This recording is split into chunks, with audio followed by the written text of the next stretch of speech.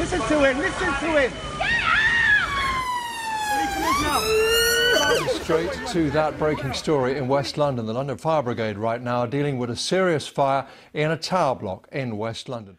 Trying to make sense of a breaking news story as it happens, amid the real-time swirl of events, is often hard. As one of the reporters who covered this dreadful tragedy, amid all the heartbreaking action, one small but extraordinary detail stuck in my mind. A baby was apparently caught by a member of the public after being dropped from Grenfell Tower as it was engulfed with flames. This is according to an eyewitness. I haven't been able to get the story of the Grenfell baby out of my mind since. Did it happen? Could it happen? I suppose also as a parent, I ask myself, what must it be like to be so desperate that you're willing to trust your children to the luck of a stranger's arms? I set out to find out exactly what happened, to nail down the facts. The first thing to do is to try to trace the story back to its source. Where did it come from? Who are the eyewitnesses? The earliest source we can find for the story is this woman, Samira Lamrani. At 10.08am on the 14th of June, Ryan Hooper of the Press Association tweeted this clip of her. A woman was gesturing like she was about to throw her baby. If somebody could um, catch the baby, and somebody did, And a member of the public, a gentleman, ran forward and managed to grab the baby. Her quotes then spread to the Telegraph, to the Evening Standard, to the Daily Star, the Mail Online, the Guardian, and the Independent. By the next day, her comments were in newspapers in the UK and all over the world.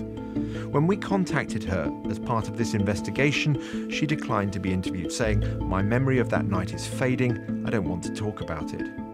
This man also appeared in many newspapers. The initial source of the story was in The Sun on the 16th of June, two days after the fire. In the story, he's named Pat. He supposedly caught a four year old thrown from the fifth floor. But we've traced him. His name is actually Oluwaseun Talabi, and he's actually holding his own daughter. They had both escaped from the 14th floor down the stairs. Another primary source is the architect and broadcaster George Clark. He lives near Grenfell and he was woken by the noise of the fire around 1am. I met him as fire crews were still battling the blaze the next afternoon. He'd been up all night and he was clearly very tired. One guy caught a kid. Kid was thrown out of a window from like the eighth floor and a guy just caught him. It's amazing. Really? Yeah. You, you saw that? Yeah. Yeah. It's just unbelievable, you know. When we contacted George Clark, he told us that he did not wish to make any comment on the matter at all because, he said, it's such a contentious issue and I think it's so hurtful to so many people. Talk to people on the streets near the tower, and chances are they'll tell you that yes, the baby story is definitely true, but they themselves didn't see it. Newsnights attempted to contact every single person quoted as saying they did see the baby thrown and caught. Some told us that they had been misquoted. Others we couldn't find at all. There's no evidence that they actually exist. And none were prepared to do an on camera interview. Yeah, we can hear people screaming. Jody Martin lives opposite Grenfell. He arrived at the fire at about the same time as the first fire crews. And something he saw might be able to shed some light on the source of the Grenfell baby story. I think it was the fourth floor, third or fourth floor. Um, on the on this side of the building, there was a a, a lady, like African Caribbean lady, with her baby, and she was leaning out the window. It was more like a toddler, and there was smoke just bellowing out behind her. So obviously she was just trying to get oxygen. So she was at the lowest point of the ledge, you know, right down low, hanging, top half of her torso hanging out, but the, her her infant at arm's length out. So the, so the baby was. So she. was. You think she was trying to get air? Yeah, yeah, no, definitely trying to get air. She wasn't. She wasn't throwing the baby. No, no, there was just. Uh, if you could see it, the, the, whole apartment was just full of smoke, and the smoke was just bellowing out. And the only place you would have been able to get oxygen was to get your head below the ledge of the of the window, right. and that's what she was doing. So perhaps the Grenfell story came from people seeing one thing and assuming they'd seen the rest. According to psychologists, this is a common phenomena at such disasters. Human memory, it seems, is not like a videotape. And in such context, it's meaningless to talk about telling the truth or telling lies. The information we get from outside from other people, from television, it appears uh, it's very accessible to us and we might have images associated with it. And it might also um, be an event that where we would typically um, be able to predict what would happen. So if there was some kind of natural disaster, we'd expect there to be human suffering. And then what we do is if we have an incomplete memory, we might just draw inferences about what may have happened. Um, so that means that the memory just becomes that information from outside becomes accessible and it can contaminate our memory. You would think that uh, an incident this extraordinary, this dramatic, would trigger a sort of wave of official reaction. There'd be records, a paper trail. But Newsnight has established that neither the police nor the ambulance service knew anything about it. The Metropolitan Police couldn't have been any clearer. They told us in a statement, we have no record of this incident. Another big reason to be sceptical is physics. The average weight of a six month old baby is around 7 kilos, roughly the same weight as a heavy bowling ball.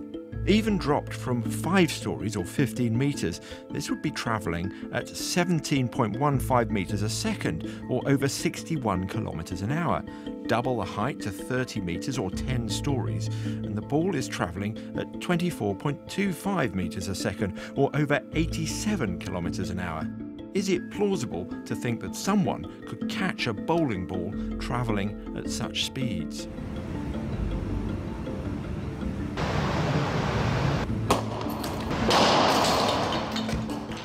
Anything over one story would be regarded as a significant fall. I would be skeptical about a baby falling from a very high height. Um, that in some way someone catching that baby would you know completely make the fall benign. I, I think that's difficult to to understand. Though, as I say, it's not something we see very often. Um, a baby falling from significant height, the bottom line is that will expose the baby to significant risk of injury, almost irrespective of of the landing. What's more, Newsnight has established that no children from Grenfell were treated in hospital for the serious type of physical injury that one would expect from such a fall. So why do so many people believe the story of the Grenfell baby so strongly on what we can find at least is so little evidence? Is there something about a, a gut-wrenching, heartbreaking story like this that means we need to believe in miracles. It would shine a nice light on maybe human nature if it did happen, of the human nature of people that live in, in and around the area. So people here, after that tragedy, they're all about the community and we're looking after ourselves and the government's not looking after us, but we're taking action for ourselves and we're doing a rally and stuff like that. So it fits in with it fits in with the, the, the story, the narrative. It is often not possible to definitively say that something didn't happen. All we can do is search for witnesses and scrutinise the evidence. We've done that and haven't turned up anything that suggests this amazing event actually happened. Indeed, all the available evidence points to the opposite conclusion.